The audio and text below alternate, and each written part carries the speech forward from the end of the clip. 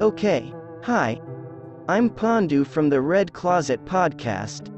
Histories the Greeks often had an epic story about the origin of a name or region. Call it Hellespontus, Peloponnesus, and the Aegean Sea. Yes, the Aegean Sea, it is said that the name was taken from Aegeus the king of Athens, the father of Theseus the hero.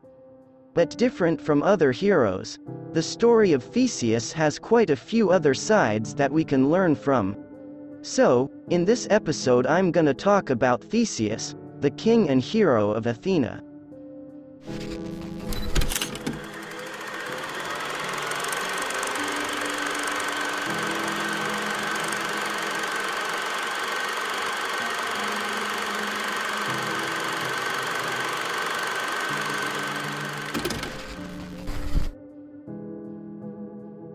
Theseus is the king and hero of Athens in Greek mythology, son of Aegeus. Theseus was a hero like Perseus, Cadmos, or Heracles. His name comes from the word, thesmos, which means law or tradition. But there are also those who call him the son of Poseidon, Neptune, the ruler of the sea. He is part of the generation of Greek heroes, the fourth generation of the five generations of mankind there. The generation of heroes themselves have many generations. Theseus himself is a friend of the same generation. Despite the age difference, Hercules, Telamon, Idas, Laertes of Ithaca, and Jason. He is a senior of the generation of Odysseus, son of Laertes, Achilles, Diomedes, Ajax, son of Telamon. He grew up far from Athens, and when he was of age he traveled east to Athens. This journey marked the beginning of his career as a hero. The beginning of his career started smoothly. He managed to clear the road along Troezen to Athens from famous bandits who disturbed the public. Armed with the sword his father had given his mother in the past, there was no significant difficulty for him to convince his father of his true identity. Without going through the election process and filing a dispute, he was immediately sworn in as crown prince. The success that became the peak of his career as well as catapulted his name was killing the Minotaur, the bull-head man who lived in the labyrinth belonging to Minos, son of Zeus, the king of Crete, for a hero of the caliber of Theseus, killing the Minotaur was not as difficult as designing a master plan. But to get out of the maze that is so misleading is a challenge that is too formidable, even for the hero. Fortunately, he got help on a way to get out of there from Daedalus, the architect of the labyrinth, through Ariadne, Minos' own princess who had strayed into the heart of the Prince of Athena. Okay, before we go too deep, you can click the subscribe button so you don't miss the next content. Okay let's go on. Long story short Theseus and his entourage return to Athens. Daedalus who is caught helping Theseus is finally punished and thrown into a maze of his own design. Ariadne? Unfortunately his love was not reciprocated, he was left alone on an island by Theseus, supposedly at the behest of Dionysus, the god of wine and joy who also fell in love with the princess.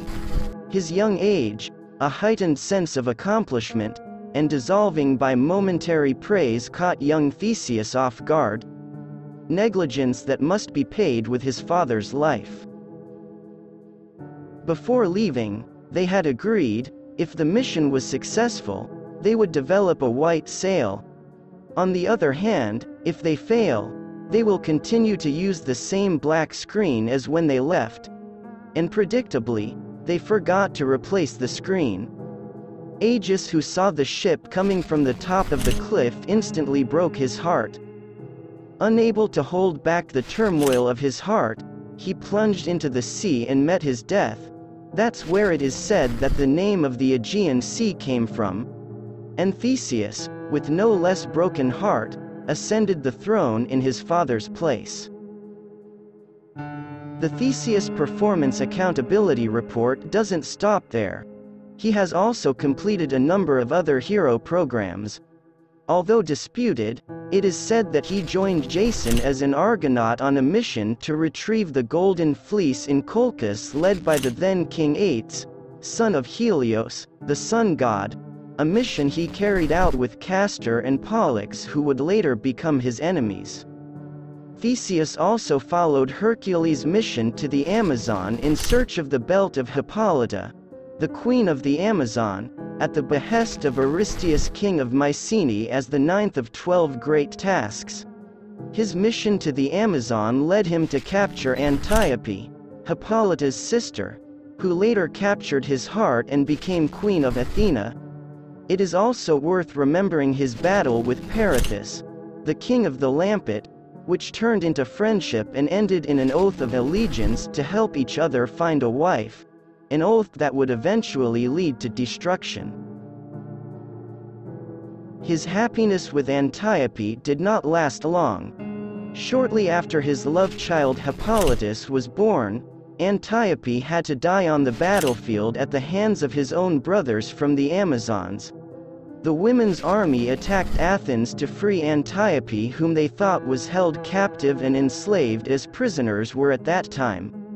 Instead of sitting still and playing orders like a queen, Ares' blood in her body actually summoned her to the battlefield by her husband's side like a queen in a game of chess. His armor made him so dashing that his brothers didn't recognize him and thought of him as a commander-in-chief of the enemy to be killed, and so it happened. After the death of Antiope, Theseus remarried to Phaedra, daughter of Minos, which was also a disaster. Phaedra fell in love with Hippolytus, his own stepson, and of course his love was one-sided. Full of revenge, she instigated her husband so that a curse was issued that caused his flesh and blood to die. What a whore, her regrets later after knowing the truth was useless. His son was dead, his wife hanged herself in shame, again she drowned in sadness. As if fate hadn't played with him enough, he was again possessed by a thought that led him to sink further into misfortune. He came to Perithous and asked for their promise to help each other find a wife, the girl he chose was Helen, daughter of Tyndareus, king of Sparta, who was also known as the daughter of Zeus. The woman who is called the most beautiful in the world is still a teenager, much more worthy of being her child and even grandchildren. Without much fuss Perithous agreed, they kidnapped Helen from Sparta.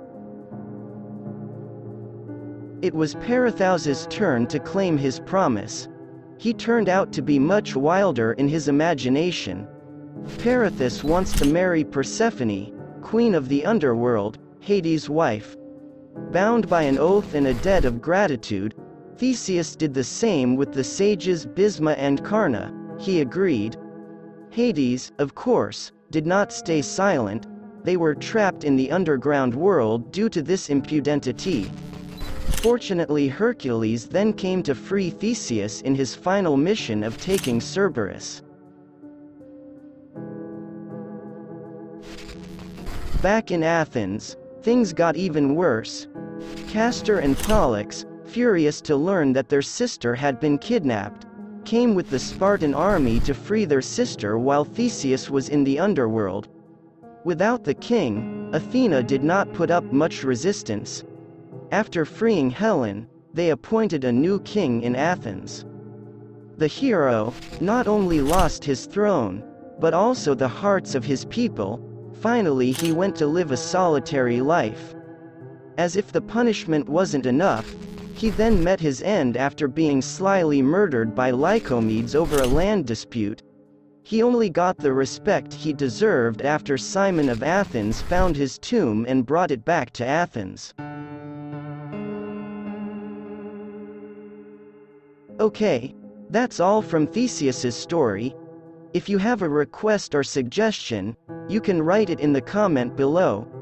If you like this content, please share this video to your friends, your family, your girlfriend or boyfriend. And don't forget to like, comment and subscribe. Thank you all.